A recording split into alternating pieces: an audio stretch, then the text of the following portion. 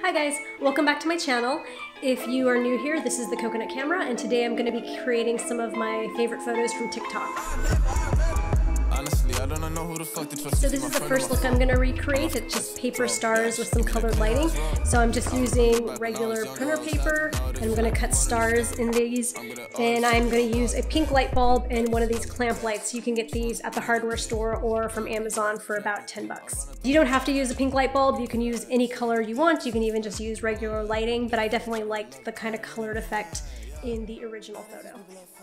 Okay, so you can see behind me I've started to hang my paper stars and what's important about this is that you want to make sure that they're at different heights and they're at different depths. So you can see I have a row of them on this front background stand and a row of them on this back background stand.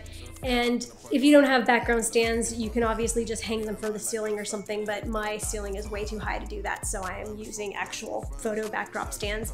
And then I'm gonna position myself in between the two.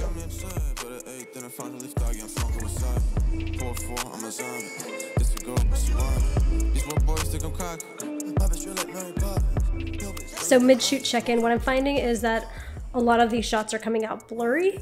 So I'm having to put my face really on the same level as the first row of stars. So that's just something to be aware of when you're taking pictures of yourself. Stop every few minutes and check things. So that brings us to look number two.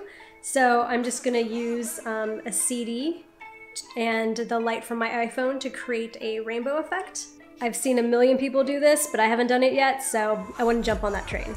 Okay, so the first thing I notice shooting with the CD is that you want to make sure that the room is really dark. This might be kind of obvious, but it's 7.30 and even the little bit of light, 7.30 p.m. and even the little bit of light coming through my windows is kind of messing up the shots.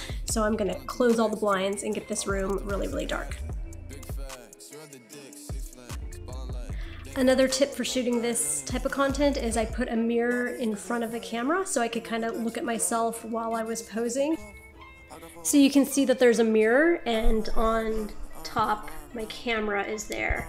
And the, reason I'm doing it this way is because I can um, position the light from the CD onto my face and be looking into the mirror while I'm taking the pictures.